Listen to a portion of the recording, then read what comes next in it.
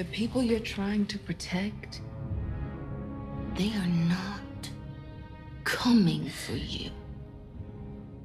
The only person that can save you now, Leia, is you. You are gonna tell me what I wanna know. What are you doing to The me? same thing I do to anyone who doesn't embrace the Empire. I think I've just found out what they're hiding down here. This place isn't a fortress. It's a tomb.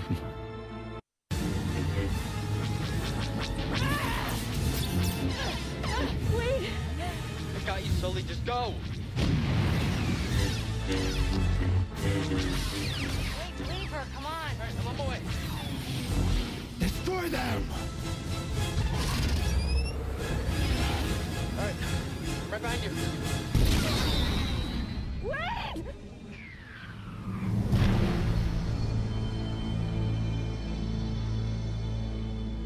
Where's Wade?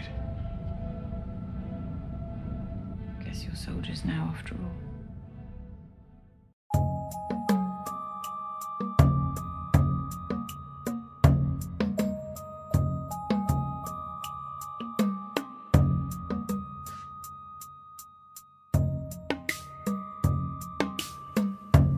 Welcome to A Conspiracy in the Force, the show where we examine parallel conspiracies in a galaxy far, far away and a galaxy not so far away. The show is designed as an introduction to modern day conspiracy theories by using Star Wars, one of the most beloved fictional universes, as a point of reference. Let's begin.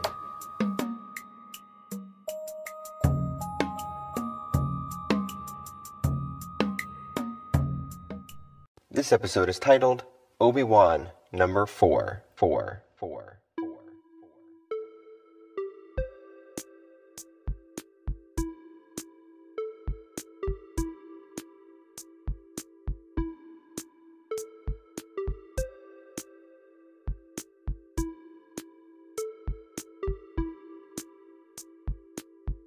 On today's episode, we will be discussing episode 4 of the Obi Wan Kenobi series, and we are now over halfway done with the six episode season. This was the shortest episode by far, with a runtime of 38 minutes long, but still there's much to discuss. This episode was yet again another young Princess Leia rescue episode, which mirrored the events of episode 2. But this also largely paralleled the events in the original Star Wars film, where you had the rescue of adult Princess Leia from the Death Star. In certain details were direct parallels, such as the fact that they were let go from this prison without being killed because a tracking device was planted on them. In this episode, it starts out with Obi-Wan in a Bacta tank, which has been a frequently used trope going Bacta the Boba Fett series, in which he would experience dreams and memories while engulfed in the healing back to elements. In this, however, Obi-Wan experiences nightmares and recurring visions of his most recent defeat at the hands of Vader. Now, I looked up some more information about Bacta, because the only time we saw this being used in the films was in The Empire Strikes Back after Luke was attacked by the Wampa and was suffering extreme hypothermia. We saw him in there only for a matter of seconds on screen, and then he came out. So, how come in this new era of Star Wars does the Bacta tank seem to produce dreams, nightmares, and allow for memory recall? Per the Star Wars Encyclopedia Wikipedia, here's some more information about the Bacta liquid itself in the current canon of Star Wars facts. Quote, most Bacta patients felt as if they were being swallowed alive upon being submerged in the substance. As such, most doctors injected sedatives first, while subsequent waves of relaxation would slowly overcome the patient, sending them into a meditative state. While most retained consciousness, the combination of drugs and Bacta commonly led patients to feeling like they were drifting into another world. End quote. So it appears that this representation of the mental state of the characters in the Bacta tanks is on par with the Bacta in other non visual mediums in Star Wars. In this episode, it does appear that Obi Wan is really getting his mojo back, as he is back to his old fighting style and ways from the prequel era. However, it does seem a bit sudden after his near death experience in the prior episode. he didn't seem to have many negative effects from that, from that,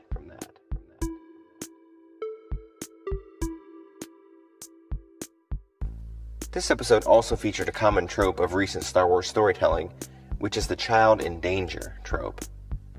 In this episode, it was fairly brutal, with 10 year old Leia being put in a torture rack by Reva because she wouldn't divulge her knowledge of rebel activities, which she literally didn't know about anyways.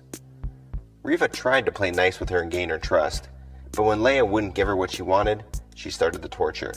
She said that she would do to Leia what was done to anyone that didn't obey the Empire. And isn't that just a perfect analogy for the useful idiots promoting our current government agendas today? They stand for equality, for human rights, and for loving everybody. But the second you don't fall in line with their demands or agree with them on the narratives they're pushing, they fly off the handle. Handle. Handle. Handle.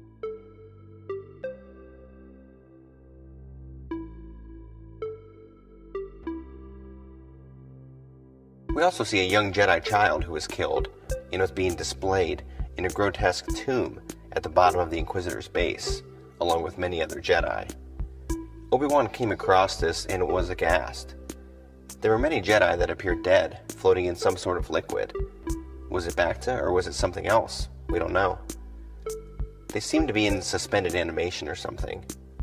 The inference I made here is that these Jedi were captured and killed by the Inquisitors and were being preserved so that their Jedi DNA could be harvested and manipulated for nefarious purposes. If you recall in the Mandalorian series, the Empire was using blood extractions from Baby Yoda to perform some sort of experiment, possibly to create super soldiers. And in chapter 12 of that series, the main characters even came across several life forms in a similar state as the Jedi seen in this episode. Now, we do also know that the Emperor himself had many contingency plans to keep the Empire in power if he would die, or to preserve his own life force, per the convoluted story surrounding his survival and rebirth in the sequel trilogy, which I still really don't understand or even believe. Believe. Believe. Believe. Something else from this episode that I wanted to discuss is something that's becoming a bit of a meme in the Star Wars fan community, and it's the death of the character Wade, one of the most non Star Wars names I've ever heard. As Obi Wan and Leia are being rescued from the Inquisitor's prison, a rebel pilot named Wade is shot down and killed. The other rebels are really distraught about this death, and there are some emotional moments we see on screen. But we as an audience didn't really know this character at all, nor did we know what his significance was to the rebel cell and its operations. He was only on the screen for a matter of seconds.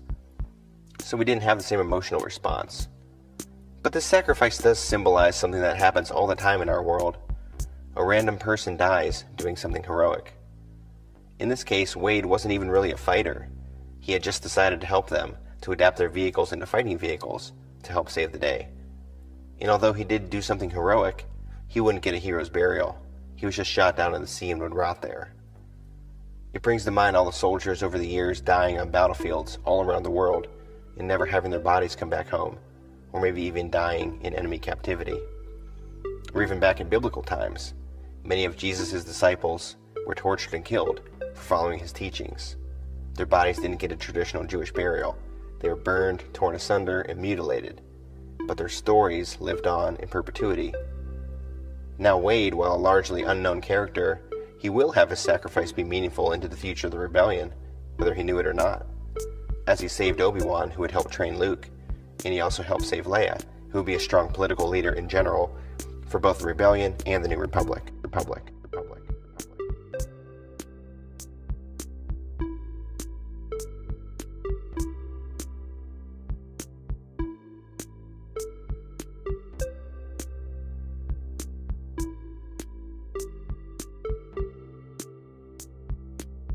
Now, two more points I wanted to touch on. When Reva was trying to win Leia's trust and coerce her into giving up information about the rebellion, she tells her that no one is coming for you. Now, this is familiar because this line was said by Leia's previous captors at the end of the first episode. Although this time Reva adds a qualifier. She says that the only one that can save you is you. Now, what she meant was that by giving the information she had, she could be set free. But I think this has a deeper meaning. Many people in our world, and even in this conspiracy truth community, believe that there is no biblical God, that that's a false manipulation of some sort, and that we ourselves are a God. God is within us inherently, and we are our own Savior and spiritual entity. Basically, we do not have to submit to a higher power, because we are the higher power.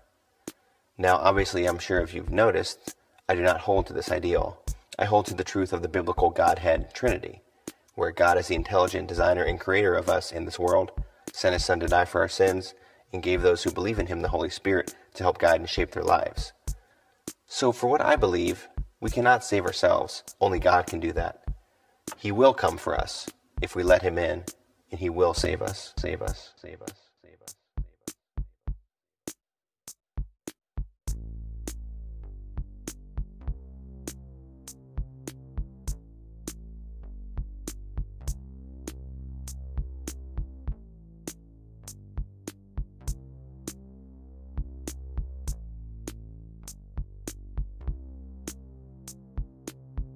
Now, finally, I have a little bit of a theory about Vader, Reva, and the Grand Inquisitor.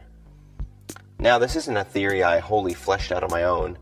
It's something I heard pieces of mentioned on my favorite Star Wars podcast, Rebel Force Radio, which is actually the only pure Star Wars podcast I listen to, so go check it out.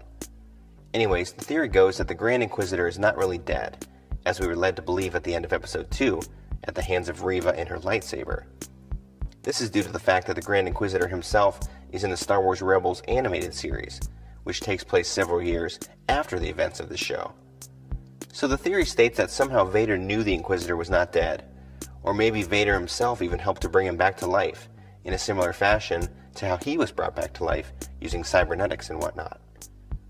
The theory continues that Vader is really just manipulating Reva to bring Kenobi to him, as he is reeling her in with the idea that she can become the Grand Inquisitor if she does all the things he asks her. Little does she know, she will just be a useful idiot doing his bidding, and then he will kill her off. No different than Palpatine did to the Trade Federation leaders in the prequels. It would also parallel how Palpatine manipulated Anakin to destroy the Jedi for him, and then he would help save Padme. But in the end, Padme died anyways, and Anakin didn't get what he wanted. He may be petty enough or evil enough to want to enact the same fate on someone else. So we shall see. See. See.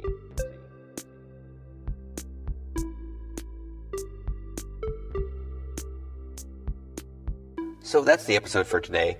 I hope you enjoyed it and are enjoying this Obi Wan Kenobi series. I will say that the series must be somewhat good, because my wife, who hated the Ewan McGregor Obi Wan character in the prequel trilogy, actually enjoys this show, so there's that. So, some notes about what's coming up this week on Conspiracy in the Force. I'll be dropping the audio of a conversation I had a few weeks ago with the Fire Theft Radio crew on Wednesday. And then Thursday night, I'll be doing a live show on Twitter, Rokfin, and YouTube with the man, the myth, the best, Mr. Charlie Robinson, author and host of the amazing Macroaggressions podcast. We'll, of course, be talking about all the lunacy of this world and where we're going from here. Again, that's a live show Thursday night, and the audio of that chat will be dropped in the podcast feeds on Friday. So stay tuned for all the fun this week. And then a week from today, I'll be back with a breakdown of Kenobi, episode 5. Have a happy Monday. May the Force be with you, and God bless. Bless.